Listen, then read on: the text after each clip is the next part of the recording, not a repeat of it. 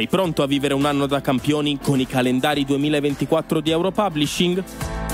Ogni giorno, ogni mese, ogni stagione, vivi la passione rossonera in modo unico con i calendari ufficiali AC Milan firmati Europublishing. Le foto più belle e le descrizioni dei campioni del Milan fanno da sfondo al calendario ufficiale del club, un'edizione da collezione che raccoglie le immagini più spettacolari e significative della stagione in corso. Dai gol di Giroud alle sgroppate di Leao, passando per le parate di Megnan, scegli il tuo calendario preferito. Cosa aspetti? Corri in edicola oppure su Amazon alla pagina Europublishing a comprare il tuo calendario 2024 del Milan, in tante versioni e formati, orizzontale da collezione, verticale e verticale con tre braccialetti rossoneri. Scegli il calendario a misura dei tuoi sogni. Con il Milan nel cuore e il calendario Europublishing in cucina in cameretta, il tuo anno da campione inizia ora.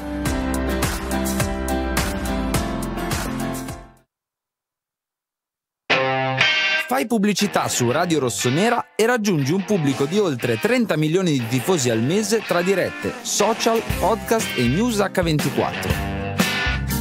Non solo la tradizionale pubblicità tabellare, ma campagne personalizzate.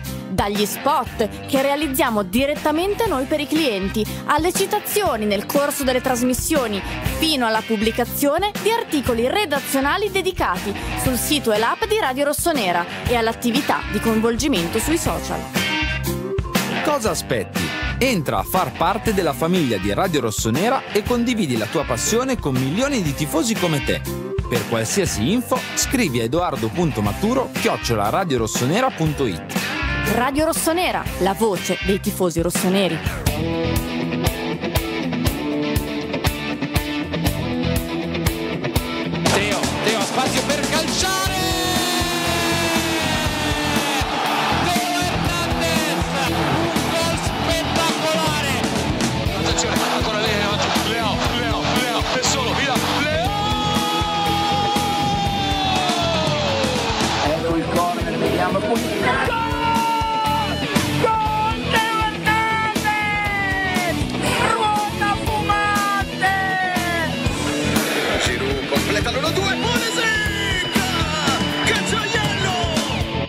Buon pomeriggio, ben ritrovati qua su Radio Rossonera. È lunedì 6 novembre del 2023, vigilia di Milan-Paris Saint-Germain, quarta giornata di Champions League, ma anche due giorni dopo dalla sconfitta del Milan in casa Milan-Udinese che finisce 0 a 1. Beatrice Sarti, ciao Bea. Ciao, ciao a tutti, buon pomeriggio. Eri al trucco e parrucco, dov'eri? Tutto bene? Tutto bene? tutto bene. Tra poco ci facciamo raccontare da Bea allenamento e conferenze stampa di Mister e Megnan, che sono già tenuti in quel di Milanello. Enrico Boiani, ciao. Ciao, buon pomeriggio. Saluto anche te, saluto Morgan in regia. Ciao Morgan, che avrà un sacco da fare perché ci sono ben 14 grafiche da mettere in onda uno dopo l'altra. Avremo un ospite intorno alla mezz'ora, ovvero Antonio Vitiello, direttore di Milan News, e poi un po' di approfondimenti vari ed eventuali che vedo già qui in scaletta che inizio direi a, a usare. Mentre Morgan ci mette la grafica numero uno, ovvero la classifica di Serie A, Io vi invito a mettere like a questo video, a questa diretta, iscrivetevi al canale, attivate la campanella per tutte le notifiche, se vi va fate una donazione, insomma supportateci in ogni modo come potete e ovviamente non vi chiediamo di, di- di donare o tutte queste cose qua, ci mancherebbe altro. Lascia Se fare, potete- nel caso Liban se potete, se potete farlo fatelo e, e se vi va. Eh, però il like che è una cosa semplicissima, gratuita e su cui io vi faccio una testa così, se riuscite mettetelo perché anche se magari per voi è una cavolata, eh, per, Per noi noi in una realtà- cavolata non è. Esatto, grazie Bea. Allora, eh, il turno di campionato non è stato dei migliori, insomma, lo vedete già, la nostra classifica è un po', po' diversa rispetto a come magari l'avevamo lasciata durante la sosta. Eravamo là davanti a tutti, ora siamo a sei lunghezze dall'Inter in tre partite. Abbiamo perso un sacco di punti dal- dall'Inter, tant'è che l'Inter è sopra di, di 6, la Juve è sopra di 4 e il Napoli è tornato a essere soltanto a un punto. Con l'Atalanta, tra l'altro, che fortunatamente ha perso con l'Inter per la corsa Champions League, sfortunatamente invece per, eh, per la corsa al campionato, però sempre lì a tre punti. anch'essa più o meno direi che finiscono La Roma qui, che ha poi- vinto eh, con due gol negli ultimi minuti torna a meno 5. Vi ricordo che era a meno 9, meno 8, meno 9 dopo la vittoria alla terza. Eh, sta tornando sotto anche la Roma. Eh, vabbè, la classifica non è... cioè, no, perché comunque hanno vinto tutte le grandi, No. a parte il Milan, e quindi è chiaro che eh, poi le conseguenze si vedono no, nella classifica quando vince l'Inter, vince la Juve, vince il Napoli, vince anche la Roma. eh, è chiaro che eh, poi le conseguenze si vedono subito su- sulla classifica, anche perché è stata una classifica molto corta fino ad ora, quindi è chiaro che giornate del genere la- la cambiano di parecchio. Via via ci sono tutte le altre, compresa quella udinese che grazie ai nostri tre punti si è tolta dalla zona retrocessione, credo dall'inizio dell'anno, ed è salita a quota 10, scavalcando un, po', un bel po' di squadre e quindi issandosi fuori dalla zona pericolosa. Anche il. Cagliari, eh, vincendo col Genoa. Tra l'altro ho visto sul fantastico social, ovvero X, che l'Udinese... Twitter. Ah, ecco. Che l'Udinese nell'anno solare 2023 ha praticamente vinto con noi e con un'altra manciatina di, di, di squadre. Ha vinto Sì. pochissimo, soltanto con noi. Noi, tra l'altro, là a Udine. Sì, 2023. la Udine è qua eh, sabato. Andiamo avanti, prossimo turno che non è la partita di, di domani ovviamente, ma di campionato che inizia prestissimo perché per noi è sabato alle 15 a Lecce. Sì. Una partita un po' complicata proprio perché infatti, come diceva poco fa Henry, il Lecce fino al novantesimo era in vantaggio a Roma contro la Roma. Poi 92-94, se non ricordo male, e la Roma l'ha ribaltata vincendo 2-1. Però E il Lecce... Eh, io in tutto ciò ho pure il gol di Azmoun al fantacalcio in panchina perché ci mancherebbe altro che schiero Azmoun che salutiamo tra l'altro. Eh, sì, perché Lecce era partito poi forte in questo campionato, no? nelle prime 4-5 Eh, sì. partite era in- in- non dico in vetta, ma insomma era nelle prime 4-5 posizioni, poi si è fermata drasticamente, ha anche perso e male aggiungo contro il Parma in Coppa Italia Mm. eh, che forse gli ha dato un'altra botta negativa e quindi saranno molto agguerriti. Sono due squadre in difficoltà, Lecce e Milan in questo momento e, e tra l'altro Lecce, la trasferta di Lecce che l'anno scorso non portò benissimo, anzi fu la prima, fu, il secondo 2-2 consecutivo dopo quei due gol ripresi no, da, dopo la Roma, andiamo a Lecce, il primo tempo horror del Milan, la riprendiamo con Leao e Calabria, Teo Hernandez sostituito al 45esimo, insomma ce lo ricordiamo tutti. Sì, sì, sì, me la ricordo bene. Quella partita di Lecce che fu l'inizio di un, un ciclo tremendo. Con, eh, dopo il, il pareggio con la Roma arrivò la trasferta di Lecce, poi arrivarono, eh, si, si aprirono le cataratte. Eh, dati partita, grafica numero 3, Morgan, e poi dopo andremo velocemente anche all'MVP, così chiudiamo un po' la questione eh, Milan-Udinese. Ci sono alcuni dati oggi che mentre li facevo, wow, Cioè? cioè XG, Guarda, li leggo velocemente per chi magari ci Sì. ascolta e basta e non ci vede sul YouTube. Possesso palla è in stragrande maggioranza per il Milan, ma come spesso accade, il possesso palla non serve a una mazza se fatto a ritmo basso. Tiri in porta sono 14 per il Milan, 12 per Udinese, però il problema grosso è che soltanto 4 sono nello specchio della porta, a 2. Quelli del Milan sono eh, i due tiri da fuori del primo tempo, Calabria e Musa, il colpo, il colpo di testa di Giroud e forse il tiro da fuori di, non so se Florenzi alla fine, su cui Silvestri Sì, fa... alza una- sopra la traversa. Questi sono i nostri quattro tiri in porta. Eh beh. Quelli dell'Udinese sono il gol E il colpo di testa su cui e Mike il colpo fa di meno. testa miracoloso, sì, di Mike. Quindi due. Due, esattamente così. Cross riusciti, ne abbiamo provati una svariata tripla dozzina, direi. 36 provati, 7 riusciti, 19% di cross riusciti. L'Udinese invece 1 su 3 è andato in porto. L'expected goals, infatti, recitano, come Questo abbiamo è ricordato, pesante, 1,43 contro 0,87. Sì, 0,87 di XG contro l'Udinese in casa è, è forse il dato che salta più all'occhio no, di, questa, di questa grafica. Già. A me salta all'occhio anche la percentuale di cross riusciti perché il nostro gioco e tanto cross, cross, cross, cross, cross.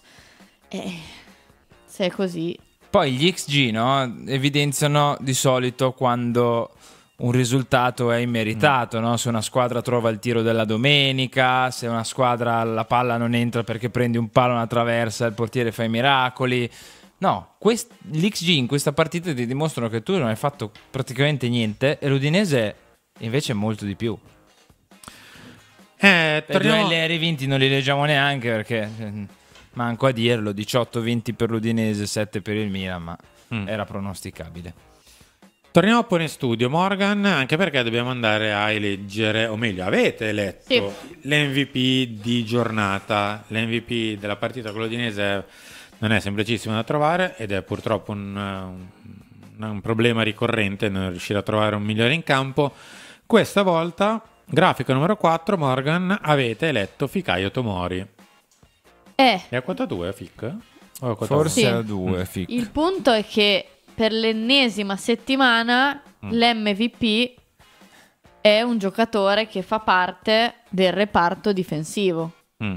Perché una volta è Giroud che fa il portiere, una volta è Magnan, una volta è Tomori, l'altra volta Cala è col Tomori. PSG, no, col Napoli Calabria. Cioè, fa riflettere il fatto che il man of the match delle ultime gare sia sempre o il portiere o un difensore. Difensore o centrale o terzino.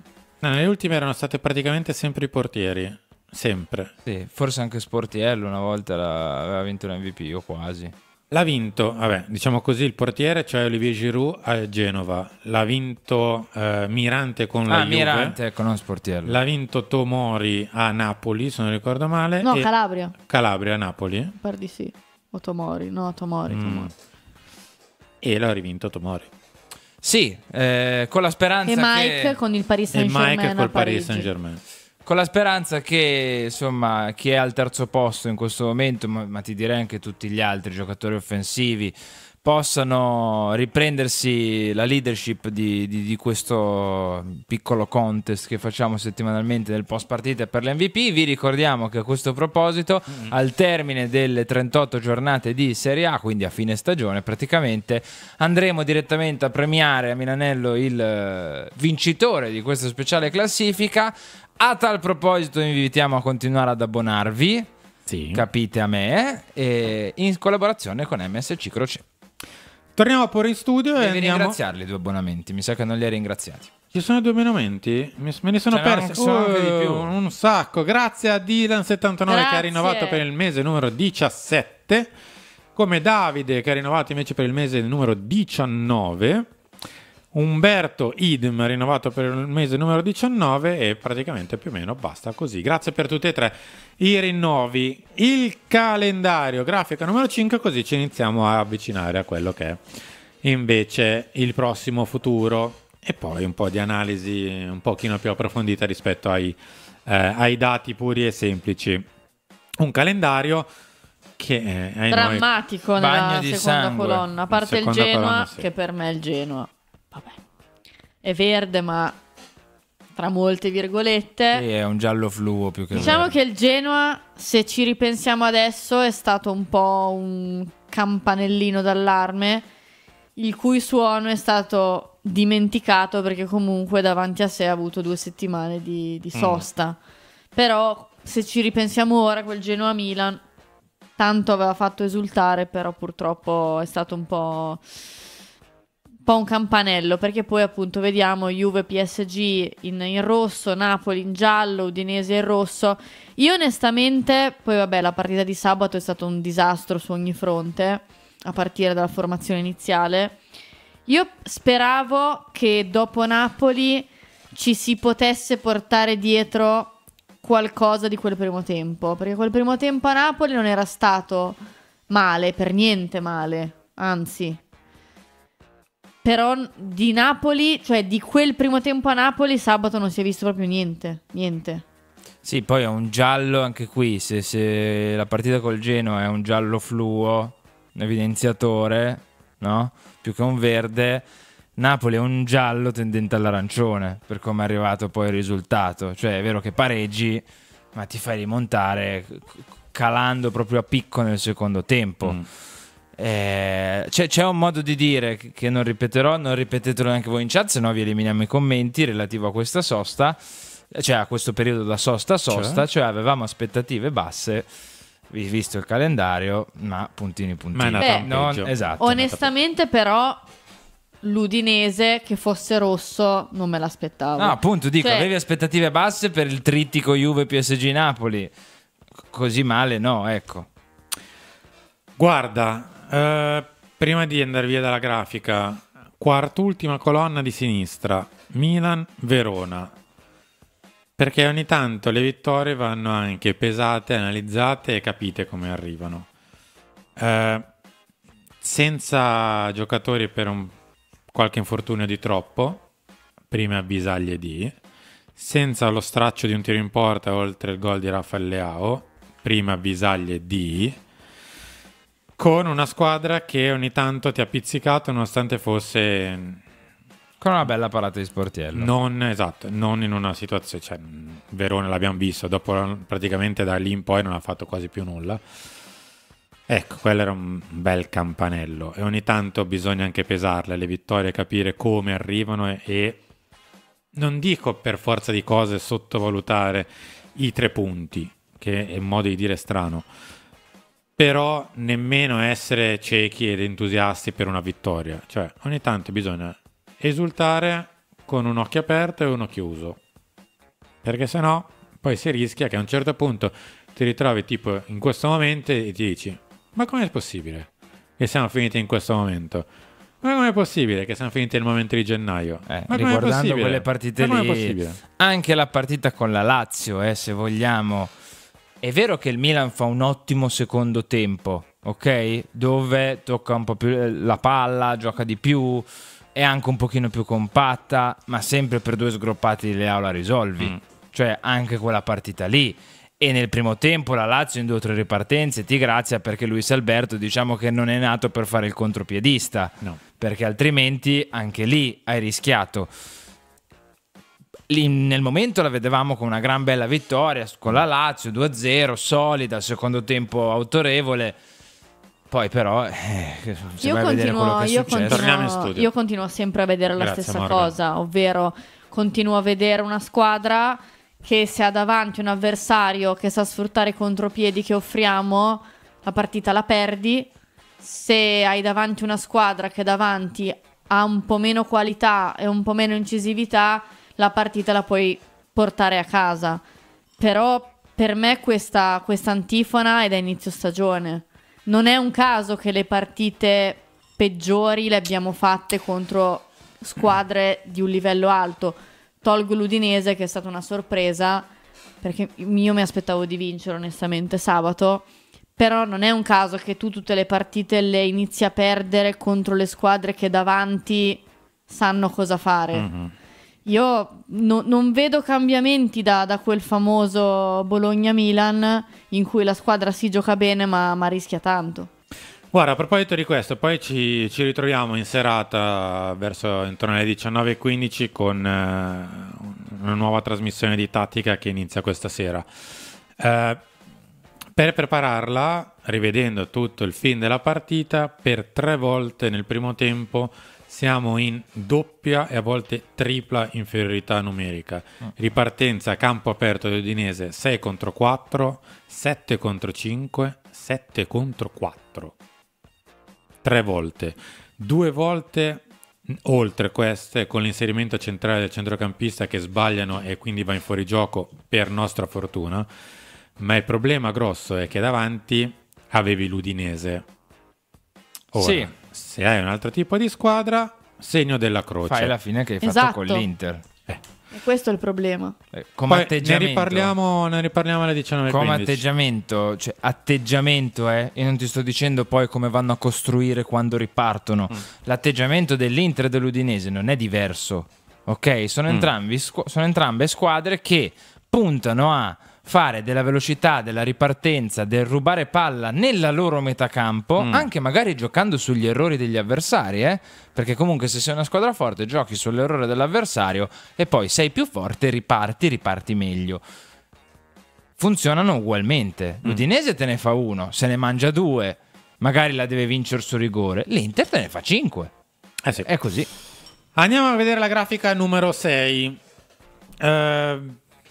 Per, una, per una semplice questione, questo, diciamo così, questo argomento mi sembra anche, diciamo anche giusto, giusto metterlo in, in piedi così.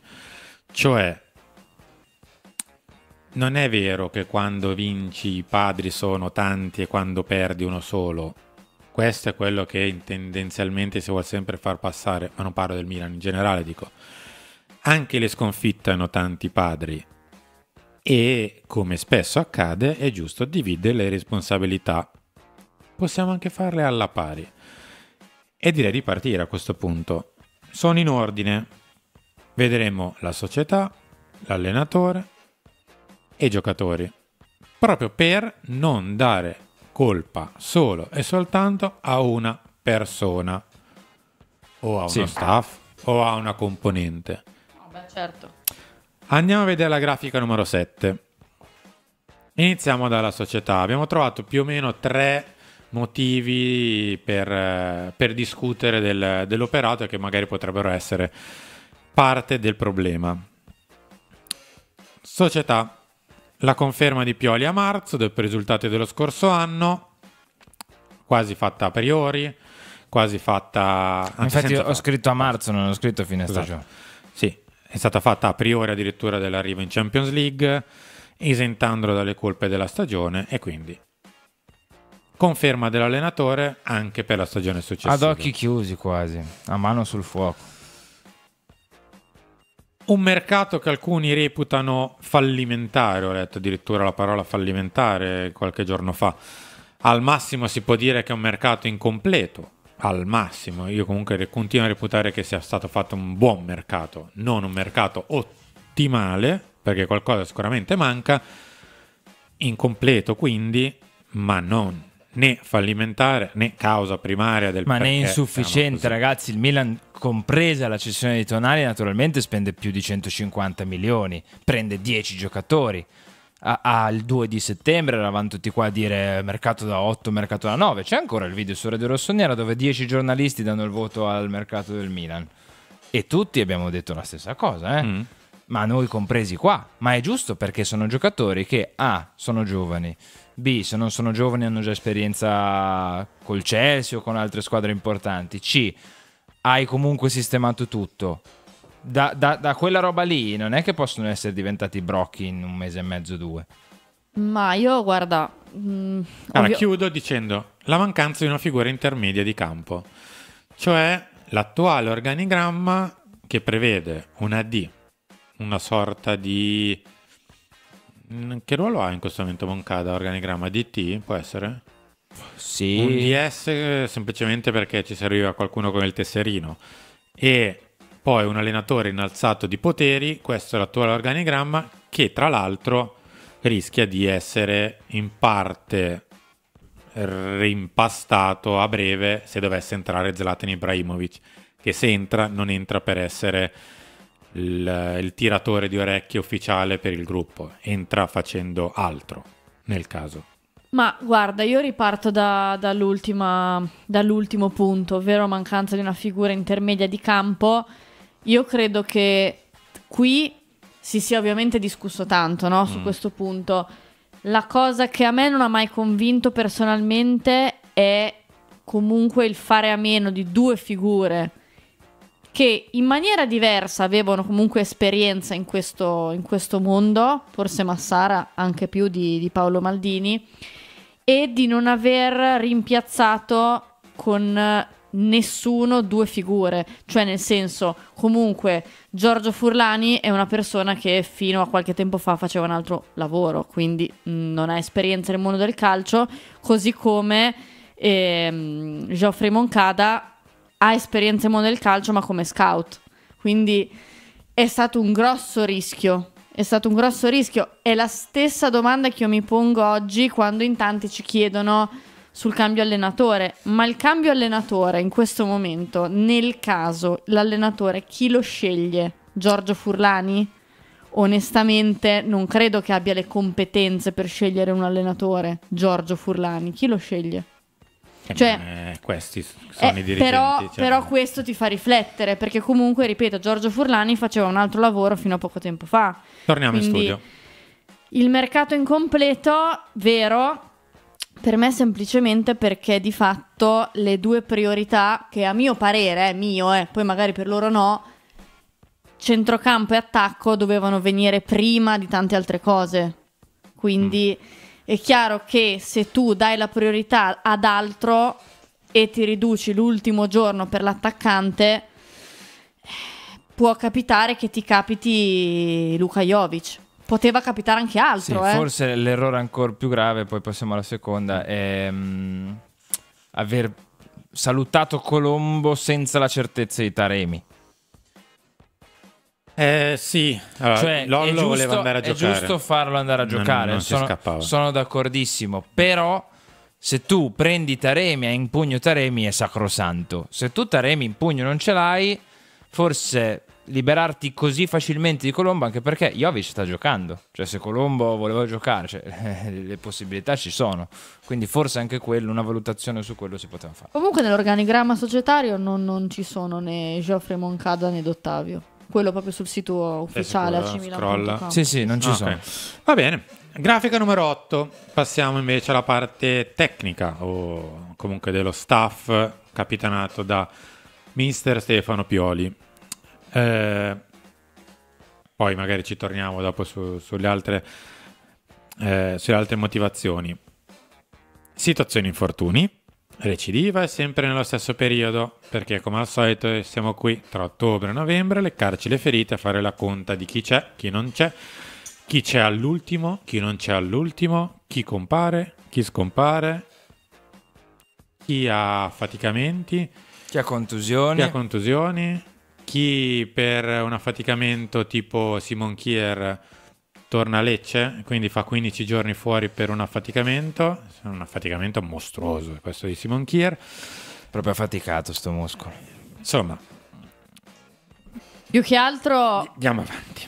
Più che altro Mm? l'anno scorso mi ricordo che la situazione infortuni era stata anche un po' giustificata, perché me lo ricordo, Mm. col fatto che il mercato era stato insufficiente, quindi giocavano sempre Pioli era costretto a far giocare sempre gli stessi, perché l'anno scorso c'era di fatto un Milan A e un Milan B, ce lo Mm. ricordiamo tutti, e quindi gli infortuni erano dovuti anche a questo. Mm. Quest'anno non c'è neanche tutto ciò, perché mi sembra che la rosa cadono. sia stata allungata di, di parecchio, quindi io adesso non so se l'anno scorso, non ricordo il numero esatto degli infortuni dell'anno scorso ora. A me sembra che sia anche peggio quest'anno a livello di concentrazione numerica. Diciamo che siamo arrivati a una cifra un po' più altina Subito. prima. Sì, Eh. sì, sì. Questione tattica, asset- un assetto un po' rischioso sbilanciato e spesso controproducente, come è stato ad esempio con... Ve lo farà Udinese. vedere il direttore Cristau alle 19.15 ancora di più. Eh già, purtroppo, purtroppo sì. Eh, tra l'altro vi faccio vedere un paio di cose sui singoli, sia su Rafa, sia su Tijani Renders. Interessanti Cuoco e tu, Radio Leao e Radio Reinders, Eh, come so. ti permetti di difendere due singoli? No, no, ma semplicemente i pro e contro di questi due ragazzi. I pro e contro di questi due ragazzi. Io non ho più nessuno. Perché Eh. n- nella partita ci sono sia i pro che i contro di entrambi i modi di giocare che abbiamo provato a far svolgere, diciamo così, sul campo a entrambi i ra- i giocatori. Nei pro e nei contro. Ci ritroviamo stasera. Gestione dei momenti di crisi e big match, derby soprattutto. Eh, beh, fin qui eh, siamo alla terza L'anno, sco- recidiva l'anno del scorso sai che 2023. io ogni tanto ci ripenso perché probabilmente l'ho rimossa dalla mia testa per salute. Mm. Eh, ma la Supercoppa italiana, Sì, è esistita che è una cosa che non è che tre- giochi tutti gli anni perché per giocare alla Supercoppa italiana devi vincere prima dei trofei, no? Può essere in finale. Passata così, pam. Sì. Io ogni, ogni tanto ci ripenso a quel, a quel trofeo che, ripeto, non tutti gli anni ti capita di giocare, anzi il Milan non se lo giocava da diversi anni la Supercoppa italiana. Chiudiamo la questione col resto dei 33, l'1% ce lo prendiamo noi così, di- per fare, Ah, per fare il penso che 100. pensavo tu volessi fare il giochino di a chi davate l'1% in più. Ah, se vogliamo, dopo il. Dopo l'ospite. Dopo l'ospite facciamo il sondaggio, cioè dove mettete l'ultimo sassolino. Mettimi la grafica numero 9, Morgan, così intanto che ci colleghi con l'ospite chiudiamo la questione, ovvero i giocatori, giocatori al 33, anche loro. Non abbiamo voluto dare semplicemente più colpe uno dell'altro, ma non per esentarsi da, da dare un giudizio, ma perché que- quando si perde, si perdono tutti. Quando si vince, vincono tutti. Ed è stato l'errore principale da cui è partita questa stagione. Mm. Perché questa stagione parte per me ad aprile dell'anno scorso. Errori tecnici sia in fase difensiva che sotto porta. E qualche errore personale l'abbiamo visto, c'è stato, è inutile negarlo. voglia. Ce ne, sono, ce ne sono un bel po'. Limiti caratteriali di maturità nei momenti difficili e mancanza di un vero leader che trascini i compagni. Diciamo che all'interno del, del gruppo nessuno ancora è spiccato per prendersi in mano un po' la situazione e tirar fuori il resto della compagnia. Torniamo in studio. Andiamo al telefono, torniamo a salutare Antonio Vitello, direttore di Milan News. Antonio, ciao. Ciao, ciao a tutti, buon pomeriggio. Antonio, siamo reduci da da una sconfitta, quella contro, contro l'Udinese, però oggi hanno già parlato sia Megnan che Pioli. Cosa ti sei portato a casa? Ma sinceramente tra i due mi è piaciuto un po' più Mike Mignan, forse anche perché la novità no? non, parla, non parla mai, quindi siamo stati un po' più attenti alle parole del portiere francese che naturalmente ha risposto alla domanda sul rinnovo del contratto, è un argomento comunque che interessa ai tifosi, un Mignan sempre molto carismatico anche quando eh, parla in conferenza stampa. Per quanto riguarda invece Pioli, lui giustamente ha detto abbiamo sbagliato completamente la partita contro l'Udinese e quindi ora eh, voglio vedere il vero Milan. Siamo tutti in attesa di capire se domani sera scenderà in campo a San Siro il vero Milan o il Milan delle ultime giornate, eh, soprattutto quello contro l'Udinese dove è stata la versione forse più brutta degli ultimi mesi del- della squadra rossonera. Quindi è una prova importante quella, quella di domani contro il Paris Saint-Germain. Eh, ci saranno anche tanti titolari, quindi per una volta insomma, vedremo in campo eh, un Milan al completo e ci aspettiamo una reazione concreta sul campo da parte dei rossoneri. Ma secondo te Antonio da che cosa deve ripartire questa squadra dopo le ultime settimane che non sono state per nulla positive? Ma innanzitutto dai giocatori, eh, perché nelle ultime settimane eh, abbiamo fatto la conta degli infortunati, no? addirittura contro l'Udinese prima del fischio d'inizio erano assenti nove giocatori, nove giocatori in infermeria, quindi recuperi Pulisic, recuperi Teo Hernandez, recuperi Loftus eh, e ovviamente anche qualche cambio come, come Ciucuezze, quindi ehm, innanzitutto si riparte da una squadra che sulla carta qualitativamente dovrebbe essere più forte rispetto alle ultime versioni del Milan.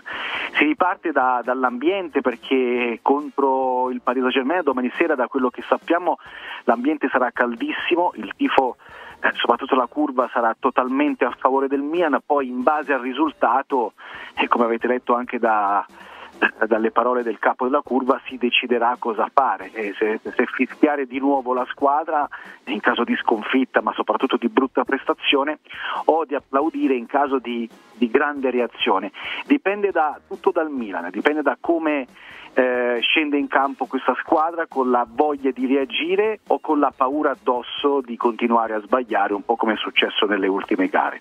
Ecco Antonio, secondo te a proposito di, di questo, cioè, c'è un limite ai, ai bonus, ai jolly di, di Pioli? Perché la società continua a confermarlo, a dargli fiducia. Secondo te f- fino a dove si può arrivare? Perché è stato confermato a gennaio dopo quel mese veramente brutto, è stato confermato comunque al termine di una stagione che ha portato tante rivoluzioni e lui è, stato forse l'unica, è stata forse l'unica conferma. Adesso eh, sono arrivati altri risultati negativi. Secondo te è, è una conferma proprio a priori o- oppure c'è un limite a questi bonus di risultati, di prestazioni di- e di ambiente?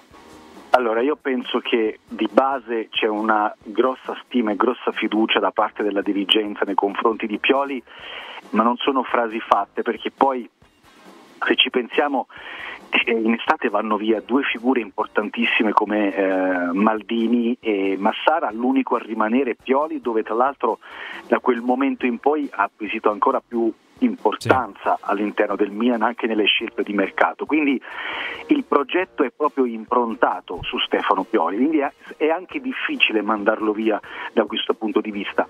È chiaro ragazzi che il Milan non può perderle tutte, cioè se, se Pioli comincia a perderle tutte io penso che prima o poi che una riflessione molto più seria e più concreta sul suo futuro si farà. E quindi al momento registriamo eh, la fiducia ancora da parte del club nei confronti di Stefano Pioli, però ribadisco, non è che si può perdere all'infinito, no, cioè, eh, ci sarà ovviamente un momento in cui eh, in base ai risultati si, fa, si tireranno le somme. Attenzione alle prossime due partite perché se dovessero andare male col Paris Saint Germain e con il Lecce e poi c'è la sosta, è il classico momento in cui si possono fare anche delle riflessioni. Quindi io direi che comunque nelle, nelle prossime due partite ci attendiamo una, una reazione forte da parte della squadra di Stefano Pioli. Se non dovesse arrivare, magari eh, insomma, eh, invece dovessero arrivare delle,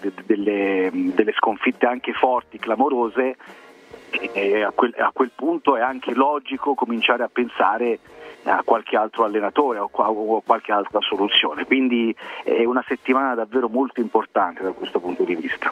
Antonio, grazie.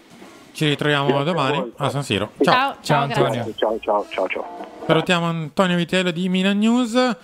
Che eh. fa una riflessione corretta, nel senso che è la stessa è la stessa cosa che ho pensato perché sinceramente sì va bene la fiducia, però credo che voglio dire io mh, mm, non speravo di non dovermi giocare il passaggio del turno domani perché domani se Milan perde è un mezzo Sì, tra eh. l'altro rischi già di sapere se è un dentro fuori perché mm. gli altri eh, giocano alle 18 sì, se non c'è un pari io mi auguravo grosso. di non dovermi giocare cioè già ora con il Paris Saint Germain eh, il passaggio del turno purtroppo la prova più difficile arriva contro la squadra più difficile perché comunque Paris Saint Germain è una buonissima squadra vediamo come, come reagirà la squadra io ho visto dei giocatori anche molto stanchi, quindi sabato al di là di, di tutto quello che è stata la formazione, i gol, eh,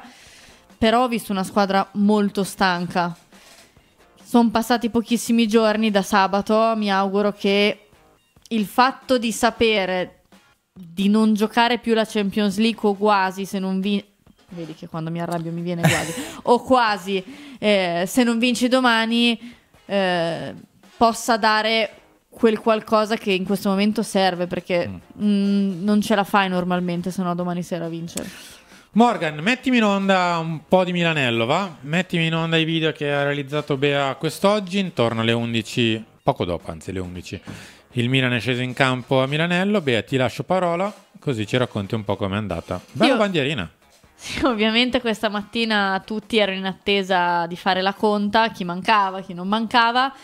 Alla fine, per fortuna, mancava solamente, anche se in questo momento conta perché siamo a corto di difensori, mancava solo Simon Kier. C'erano tutti, quindi c'era Pulisic, c'era Krunic, c'era Teo Hernandez, c'era Loftus, c'era Ciucuese C'erano, c'erano, tutti, qui vediamo appunto l'inizio dell'allenamento, oggi non ci sono le immagini del Torello che siete abituati a vedere perché ci hanno fatto uscire prima, cioè prima il e quarto d'ora te, è stato concesso prima del Torello, quindi vedete solo queste, queste immagini che mi rendo conto non siano propriamente... Beh, ma infatti ho una domanda Bea per te, cioè... infatti mi sono concentrata su Mike perché era lì. No, la mia domanda è ma vi forniscono anche il binocolo all'ingresso quando vi mettono... No, perché... Ma guarda, sinceramente so di avere un telefono che non costa 1500 euro, però anche con i migliori telefoni vi garantisco che oggi non era facile fare, fare immagini, infatti appunto come vedete eh, qui eh, vedete Mike perché ce l'avevo un po' più vicino e quindi ho pensato di appunto inquadrare eh, lui. Sì, sì, sì, eh, sì, Vediamo questa sera, dato che avremo modo di assistere anche all'allenamento del Paris Saint Germain, che immagini riusciremo a fare. Magari saranno peggiori, magari migliori, chi lo sa. Beh, intanto io sono felice di vedere Kylian Mbappé a un Anche io, metro, molto. quindi al di là delle immagini devo dire che...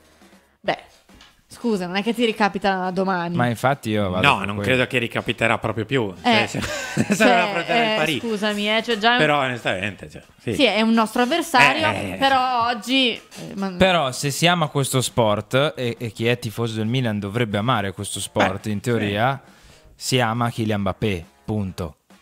Comunque, rispetto, a- rispetto alle altre volte, vi posso raccontare anche un po' meno cose perché solitamente le chicche, le cose un po' più simpatiche, un po' più carine, vengono fuori sempre nel torello. Il torello questa volta non c'è, quindi vedete appunto dei semplici esercizi di, di riscaldamento.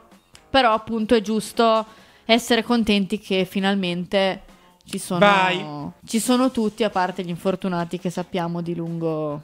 Lungo degenti. Morgan, mettimi in onda le parole dei protagonisti, ovvero Pioli e Megnan. Partiamo dall'allenatore, ovvero mister Stefano Pioli con la grafica numero 10, che ha parlato in, in conferenza stampa, una conferenza stampa classica, diciamo, non, Sì. non ha, non ha dato magari grandissimi Beh, diciamo che Mike. Eh, sono d'accordo con Antonio quando ha detto appunto che vedere Mike è stata un po' la novità.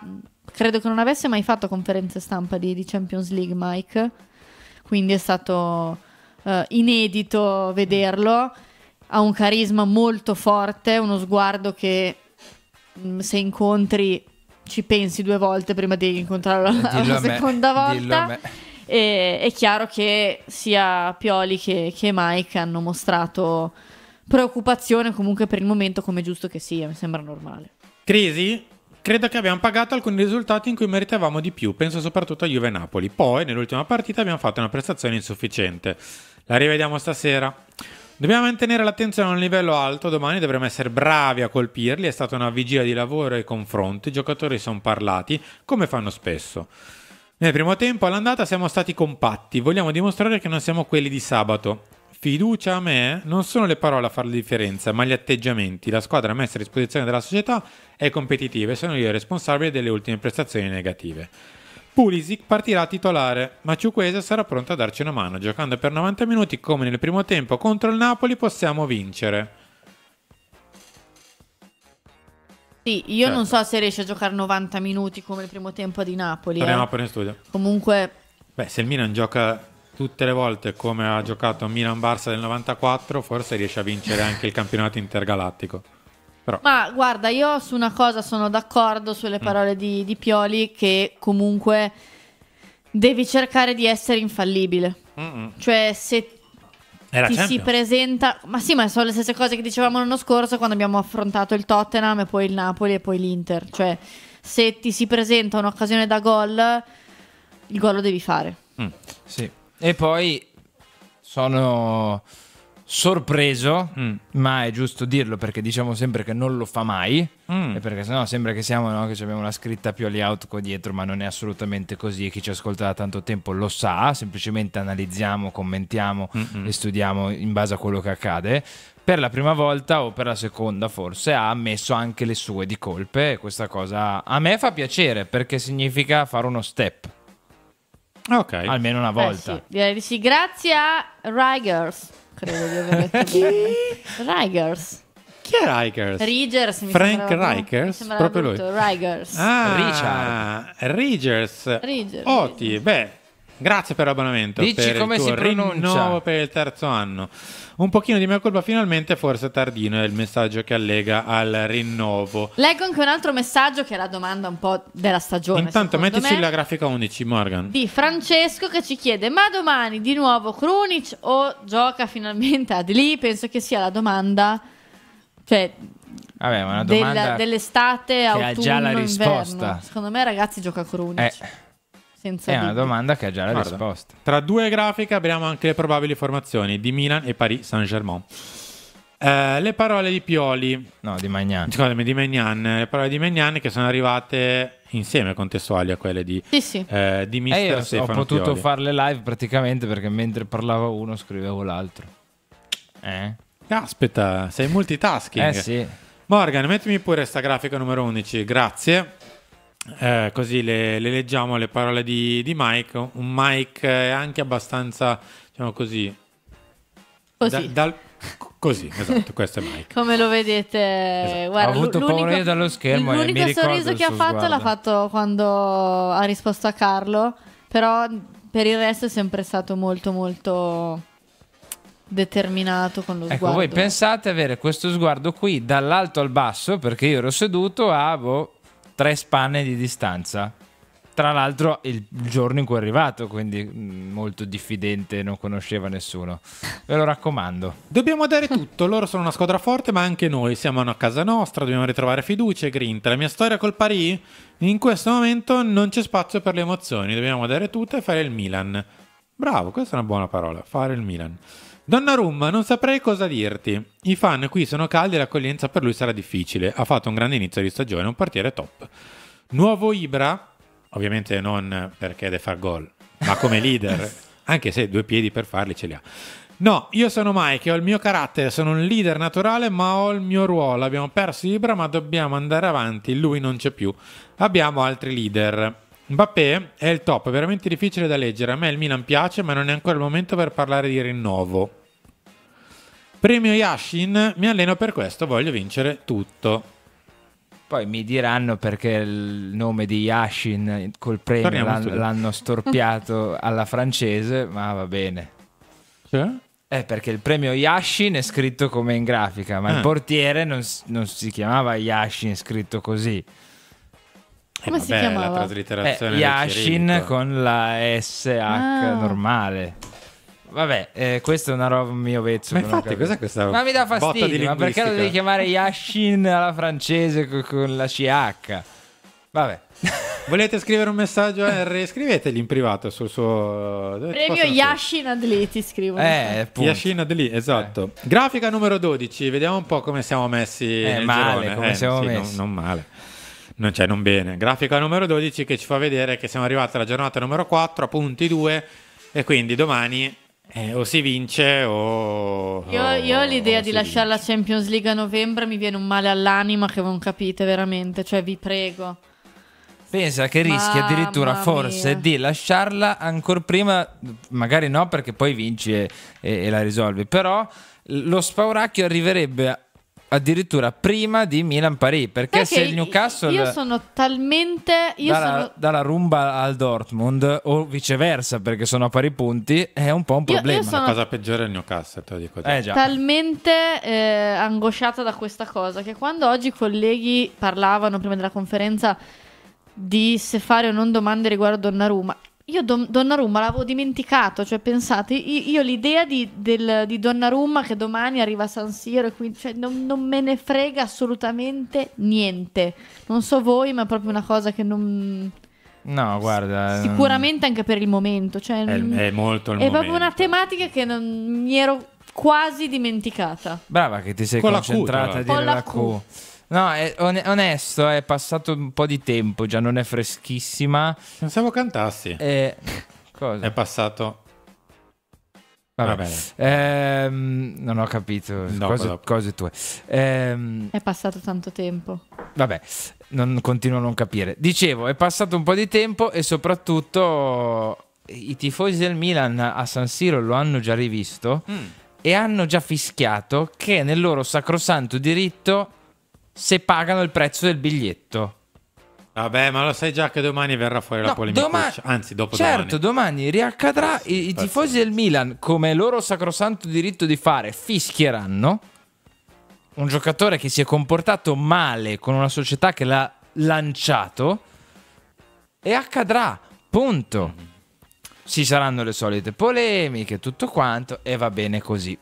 Però è più importante vincere la partita piuttosto che fischiare Donnarumma. Eh, perché se alle 18.45 Sì, una tra Borussia e Newcastle vince, va a quota 7, Sono dolori. quindi sale a più 5 su di te. Ergo, se dovesse vincere il Paris contro di te, il Paris va a più 7. pari imprendibile a quel punto devi sperare che l'altra squadra che vince non faccia più punti o al limite ne faccia uno e tu devi vincerle tutte e due battendo quella squadra lì sperando che la terza squadra non faccia follia insomma ve la traduciamo se o Newcastle o Dortmund vincono e tu perdi col Paris Saint Germain, la Champions League del Milan è terminata.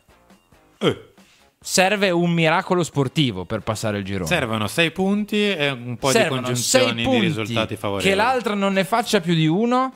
Perché se tu fai 6 punti, ma il Newcastle poi, eh, pardon, il Newcastle e il Borussia battono il Paris, saluti e baci comunque, eh.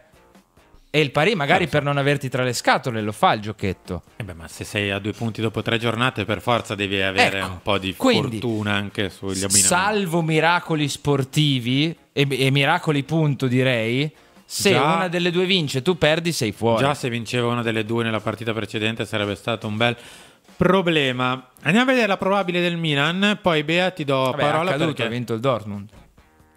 No, lo- nel senso, una volta ca- tanto che Borussia e Newcastle vanno a 4 punti, se vincono una delle due vanno a 7, Eh sì. succede il Quello è il problema. Megnani in porta e tra poco lo leggiamo perché ha parlato anche a Mediaset. Calabria, ciao, Tomori e Teo. E questi sono, e questi giocano. Sì. Loftus Cheek, Krunic e Tijani Renders. Quindi con Musa che scivola in panca. Posso dire... Che ti dispiace? Sì, mi dispiace. Ma infatti ti dirò, ci può anche Sky, ha- Sky, hanno- Sky Sport ha annunciato il ballottaggio Reinders Musa. eh. No, perché mi sembra il più in forma dei nostri Sì, anche se sabato... po- Sabato ha fatto il Eh. quattrocentista, però per- tra l'altro lì sulla, sulla banda esterna, quindi proprio Sì, sì, la spola. davanti in tre. Cioè ci rinuncia un po' a cuor non, non a cuor leggero, ecco. Ok. Leao a sinistra, Pulisic a destra che torna a essere titolare con Olivier Giroud che invece titolare lo è sempre, comunque e sempre e sempre e sempre. Sì, io mi auguro che per un, un bel numero di partite Mm. eh, non identificato, scegliete voi quale spazio bia- bianco, riempitelo voi, Jovic non, non- non lo vediamo. Punto. Né 10 minuti, né 7, né 4, né 20, né da titolare, né niente. Punto. Devi fare entrare qualcuno, fai giocare Okafor, se Pulisic e Ciukwese stanno bene. Davanti.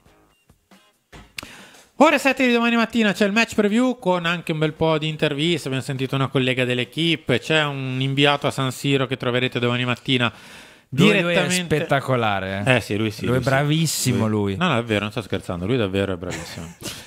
Domani invece alle 23, esattamente pochi minuti dopo la fine della partita, il post direttamente in quel di San Siro.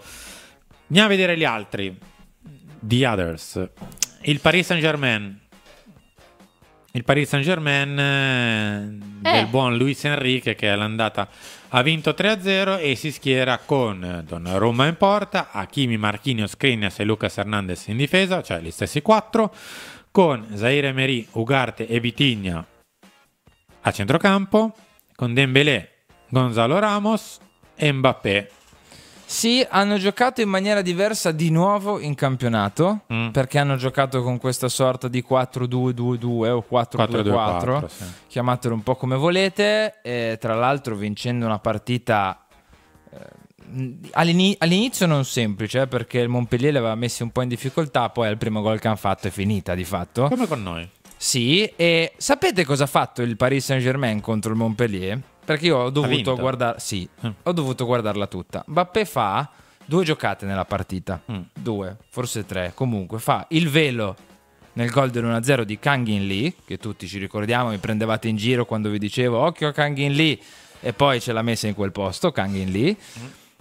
Ha fatto il velo e ha fatto un tacco volante spettacolare al novantesimo per il 4-0 che poi è stato annullato per fuorigioco dello stesso Mbappé. Per il resto della partita Mbappé ha fatto fatica a trovare mezzo metro di spazio per muoversi. Ok? E giocava scolastico. Riceveva la palla, la scaricava, riceveva la palla, la scaricava. Cosa ha fatto il Paris Saint-Germain? Mm. È andato di là e Hakimi e Dembélé hanno giocato credo a uno, a briscola, a scopa, a non lo so, a qualsiasi gioco possibile con la difesa del Montpellier, perché erano completamente sempre liberi o in uno contro uno, perché erano in due o tre di là. Su Mbappé. Mi stai dicendo? Sto dicendo che le squadre che sanno giocare a pallone, che preparano le cose, sanno trovare delle alternative, delle chiavi diverse, se il loro miglior giocatore è perennemente raddoppiato e triplicato. Poi devi avere anche i giocatori, perché questi non è che hanno due scappati di casa, hanno Hakimi e Dembélé. Però comunque, bloccato Mbappé, l'ho vista tutta la partita, ho- ho- ho- sia perché dovevo sia perché Ammazza le volevo. L'ho vista tutta, Mm. Paris Saint-Germain Montpellier. Montpellier è una squadra normale, però si è applicata Sì. lì, si è, si è concentrata, ci ha provato. Ha preso tre gol perché quei due dall'altra parte hanno fatto il loro quando Mbappé era occupato dalla difesa avversaria. Grazie. Eh, lo vediamo anche questo stasera, perché in realtà ti dirò, rivedendo un po' il film della partita, abbiamo anche provato a fare qualcosa all'inizio della gara per provare a- ad andare da Rafa Leao in maniera un pochino più ragionata e non scolastica, cioè gli diamo la palla fermo tra i piedi e poi Rafa, una preghiera, pensaci tu. In realtà all'inizio abbiamo provato anche a fare qualcosa di diverso, lo vediamo un po' stasera. Poi il problema è che al trentesimo Siamo tornati a fare la stessa roba. abbiamo smesso e abbiamo detto, beh dai Rafa, dopo mezz'ora non abbiamo cavato niente dal, dal buco, pensaci tu, te. E loro sono arrivati in due o tre direttamente su, su Rafa, ma la vediamo stasera direttamente nella, nella lavagna tattica. Io vi devo ricordare, caro Morgan, mettimi pure in onda, che FunBlock e AC Milan hanno lanciato una innovativa partnership che permetterà agli oltre 500 milioni di tifosi rossoneri in tutto il mondo di sentirsi ancora più vicino al loro amato club. Eh, è nato FunBlock, partner di AC Milan. Come funziona? Potete andare direttamente su funblock.com e acquistare dei Fun Blocks, quello che vi sta mostrando Morgan ora, ovvero delle zolle di campo virtuale dove poi, in base a ciò che accade durante la partita, guadagnare dei punti, eccetera, eccetera, eccetera. Scalando le classifiche potrete poi essere... Premi esclusivi. Esatto, Tra l'altro c'è anche un, un articolo sul sito di Radio Rossonera, radiorossonera.it, fatto da Davide Giovanzano dove vi racconta ancora meglio FanBlock, che cos'è, come funziona e quant'altro. Trovate tutte le altre info lì. No, no, non Klopp, fan block. Klopp allena il Liverpool. Sì. Che- Torniamo, torniamo in studio. Dai, mancano 5 minuti. Che si fa domani sera? Si riesce a fare sto benedetto effetto rimbalzo oppure dobbiamo scavare ancora di più e trovare il petrolio perché ormai Io mi, scava, auguro, scava. io mi auguro che la consapevolezza che se non vinci sei quasi fuori faccia il suo dovere. Spero in quello, perché onestamente in questo momento sperare in altro è un po' un punto interrogativo. Cioè, sperare nell'orgoglio, eh, allora sabato dovevamo vedere un'altra partita. Quindi io spero in quello, spero che davvero il pensiero di abbandonare la Champions League dopo che l'anno scorso ti ha davvero eh, fatto vivere cos'è la Champions League, perché quando arrivi in semifinale cos'è la Champions League, lo vivi, dia quella scintilla in più. Dai, chiedo anche a casa. Domani c'è sto benedetto effetto rimbalzo oppure no? Domani per me o è 100 o è 0. Mm. Per me domani o il Milan si rilancia, Mm. non so come, perché se, se chiedi a me qual è la mia previsione faccio fatica a prevedere, quindi non, non so come, ma o accade questa cosa qui, Mm. oppure, oppure la vedo veramente difficile la partita. Perché siamo in un momento anche in cui al- alla prima difficoltà gi- già siamo in riserva, cioè alla prima difficoltà, al primo gol preso, al, alla- al primo spavento, la macchina proprio si ferma ultimamente. Quindi speriamo che sia a 100, eh, il Milan possa in qualche modo rilanciarsi e vada e arrivi poi con questo entusiasmo alla sosta in maniera diversa. Altrimenti, altrimenti per me è zero. Cioè, zero significa fine, fine titoli di coda. Titoli di coda. Io mi rimetto al primo quarto d'ora di domani. Se il primo quarto d'ora Eh, però guarda che Coltiva- all'andata il primo quarto d'ora non era stato malvagissimo. No, è vero, ma è in casa tua e puoi continuare a lavorare su quel quarto d'ora rispetto alla trasferta. Io credo che se domani nel primo quarto d'ora succede per caso, basta anche un calcio d'angolo eh, per dirti, che dovessimo magari mettere la testa sotto, finisce male. Per Male, me male, mh, male. bisognerebbe... Io spero vivamente, scusa, scusa, chiudo, Bea, poi ti lascio. Spero vivamente in questo effetto rimbalzo. Spero vivamente nell'effetto rimbalzo. Perché la Champions League va giocata e onorata. E soprattutto porta soldi. Che penso che schifo non facciano. E soprattutto porta anche un po' di allure internazionale ai giocatori stessi. Io credo che i giocatori non vogliono uscire dalla Champions League e ritrovarsi a giocare una volta a settimana come sta facendo la Juve da inizio stagione. Direi, direi proprio di, di sì. Assolutamente, infatti, ripeto, dopo, dopo il bel viaggio dell'anno scorso fino alla semifinale, uscire a novembre sarebbe davvero brutto, un brutto colpo. Poi so che ci sono quelli che sperano di uscire perché così vinci il campionato. Io non, non ce la faccio, non ce la farò mai a viverla così, mi dispiace. Bea, grazie. Grazie a voi e ci vediamo alle ore 19 questa sera con Carlo Pellegatti in filo rossonero. Ok, ci rivediamo con te Carlo alle 19. Ere, grazie. Grazie a te, grazie a tutti e ci ritroviamo da San Siro sempre questa sera. Chissà, chissà se lo vediamo. Kylian. Tu e Kilian, esatto. Gli chiederò Poi anche se viene a cena con me. Ci ritroviamo invece con me alle ore 19 e 15 con quello che sarà la lavagna tattica di Milan Udinese. Non so perché continuano a rimanermi in testa che abbiamo giocato Udinese-Milan, ma, Ma perché è sempre Udinese, ti sembra sempre di giocare in trasferta con so. l'Udinese. Invece la lavagna tattica su Milano Udinese ci sono un bel po' di, di chicche da Leao a Renders, come abbiamo difeso soprattutto come abbiamo attaccato un po'. eh. Grazie a tutti per essere rimasti qui con noi. Ci ritroviamo come detto alle 19, 19.15 oppure direttamente domani per Milan, Paris Saint Germain. Ciao!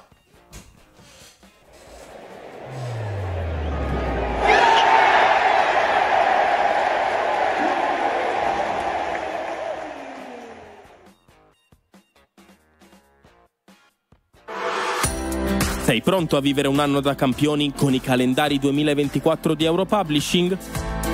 Ogni giorno, ogni mese, ogni stagione, vivi la passione rossonera in modo unico con i calendari ufficiali AC Milan firmati Europublishing.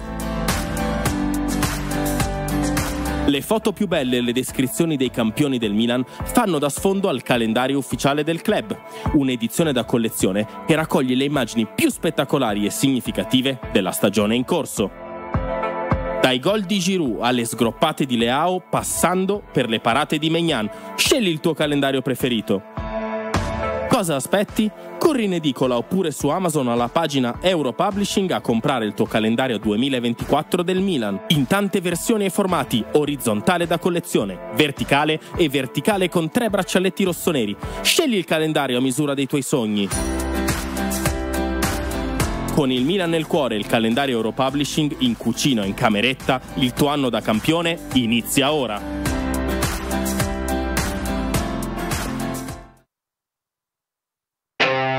Fai pubblicità su Radio Rossonera e raggiungi un pubblico di oltre 30 milioni di tifosi al mese tra dirette, social, podcast e news H24. Non solo la tradizionale pubblicità tabellare, ma campagne personalizzate. Dagli spot che realizziamo direttamente noi per i clienti, alle citazioni nel corso delle trasmissioni, fino alla pubblicazione di articoli redazionali dedicati sul sito e l'app di Radio Rossonera e all'attività di coinvolgimento sui social. Cosa aspetti?